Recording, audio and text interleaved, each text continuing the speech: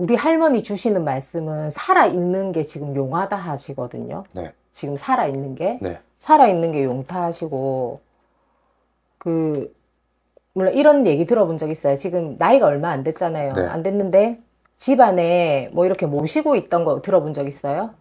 네. 누가 모셨어요? 어머니. 어머니? 예. 음, 지금도 모시고 계세요? 그건 잘 모르겠습니다. 분명히 집안 대대로 내려오는 기운이 분명히 있어서 네.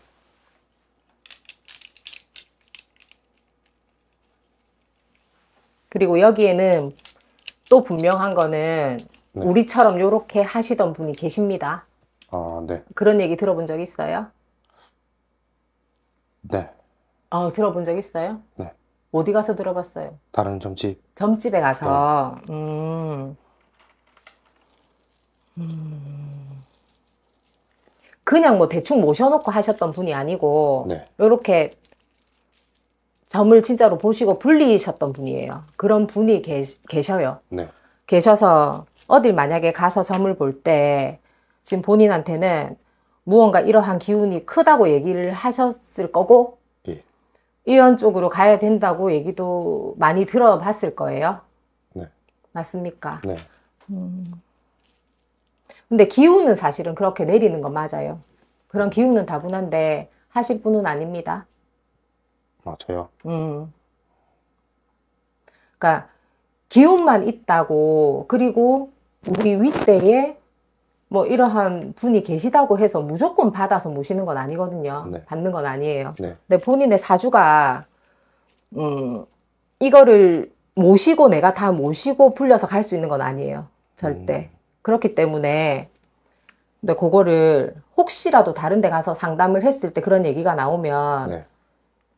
근데 본인도 하기 싫잖아요, 사실. 저는 안 좋아합니다. 어, 하기 싫잖아요. 그러니까 아니에요. 근데 그런 건 아니고.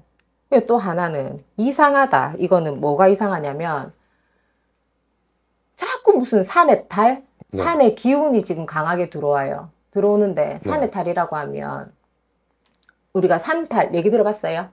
아니요, 잘 모- 모릅니다. 모르세요? 네. 산탈은 묘탈도 산탈이라고 하고 이- 예를 들면 이제 선산 이장이라든지 네. 합장이라든지 여러 가지가 될 텐데 그러한 게 또 많이 느껴지고 네. 그거에서 내리는 벌전이 굉장히 크단 말이에요. 어. 네. 혹시 집안으로 그 묘 합장이라든지 선산이라든지 이런 거 한 거 있어요? 손댄 거? 그런 건 없습니다. 잠깐만요.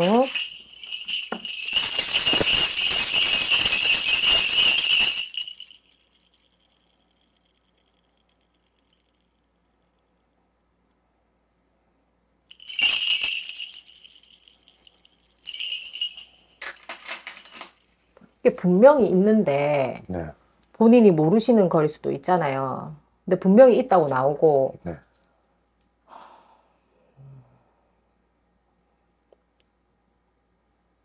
이 희한하네. 그러면 아니면 누군가 돌아가신 분이나 뭐, 뭐 시체를 봤다든지 뭐 이런 거 본 거 있어요? 그런 것도 없습니다.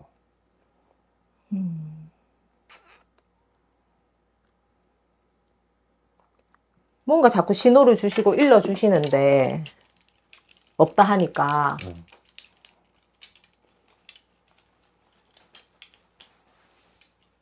확실한데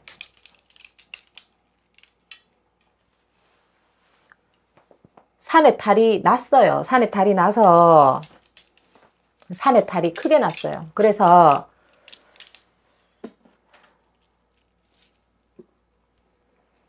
산탈, 묘탈.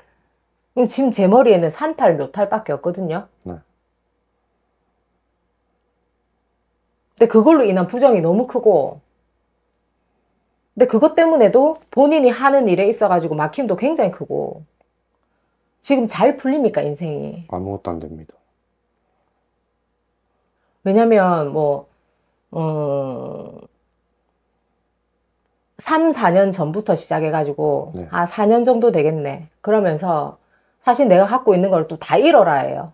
음. 다 털어먹어라.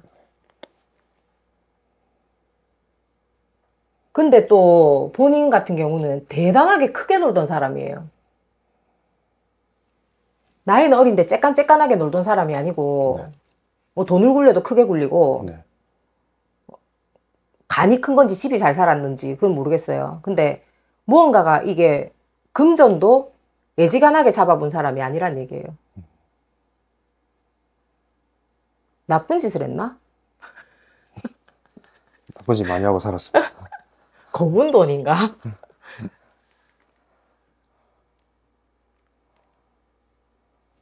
근데 기운 자체가 모든 게 지금 집안으로도 네. 무너지라 했고 네. 본인도 마찬가지고 본인이 장남의 장손입니까? 네. 장남의 장손이에요? 네.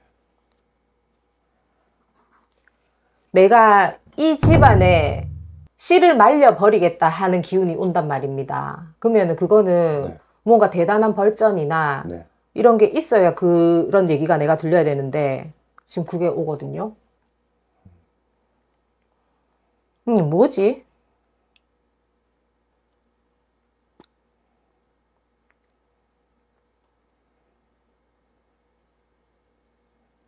음, 다른 거 아는 거는 없어요? 산에 관련된 거는 음.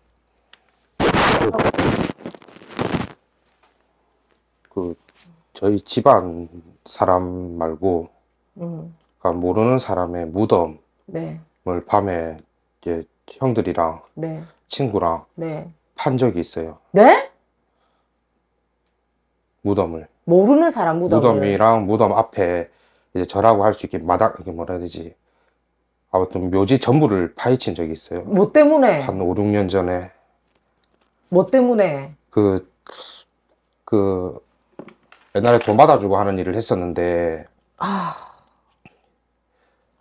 어, 저희한테 이제 의뢰한 사람들이 한 30명 정도가 되는데, 그 사람들이 이제 다단계로 이제 돈을 많이 잃은 사람들이거든요. 근데 이제 그 다단계를 했던 사람이 있을 거 아닙니까? 사기를 친 사람이. 음. 예, 그 사람이 한 300억 정도를 돈을 현금으로 해가지고 숨겨놓고 아예 그냥 징역을 들어가 버렸어요, 그냥. 아이고야. 그래가지고 이제 처음에는 그쪽 아들내미 한 명, 예. 아들이 두 명 있었는데 아들이 한 명 죽었거든요. 자살로.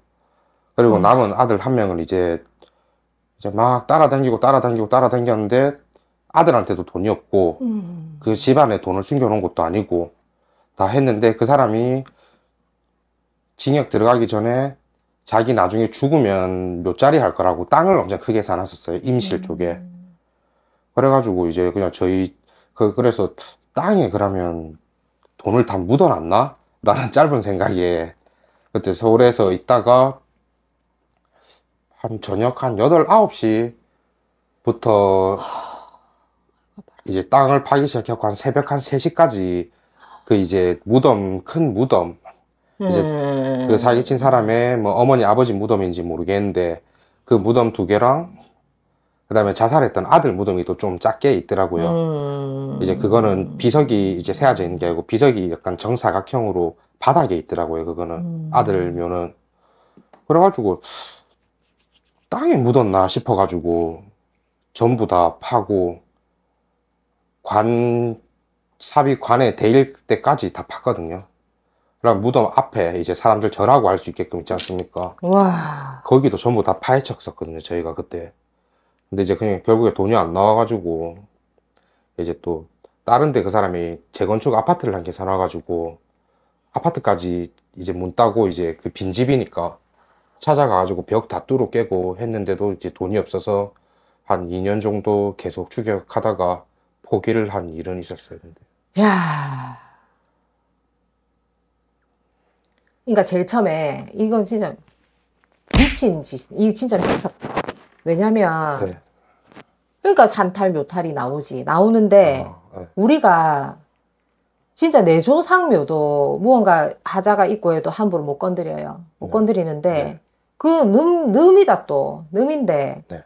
얼마나 사실 한을 가지겠어요. 네, 네. 아 머리야.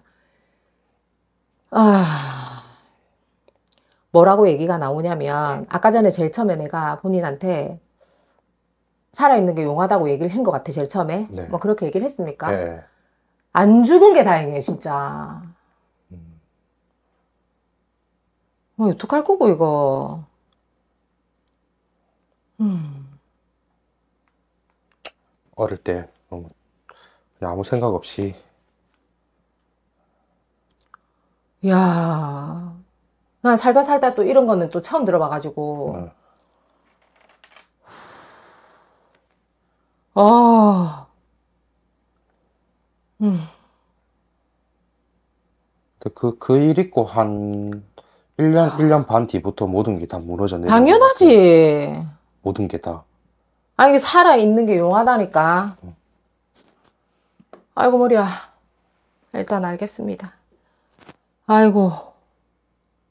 이거는 보통 예사일이 아니다. 예사일이 아니라서 이거는 좀 대책, 야, 이거 되겠나, 이거. 아, 손, 손이 달달 떨려요. 일단 알겠습니다. 그 말고는 없죠? 말고는 없습니까? 뭐 산이랑 무덤에 관련한 거는 그거, 그거예요. 그거밖에 없습니다. 아니 산탈 로탈이 들어오는데 뭐 본인 거- 그건 아닌데 근데 이게 진짜로 장난이 아닌 거지. 음. 야 이거 기절할 노릇이다.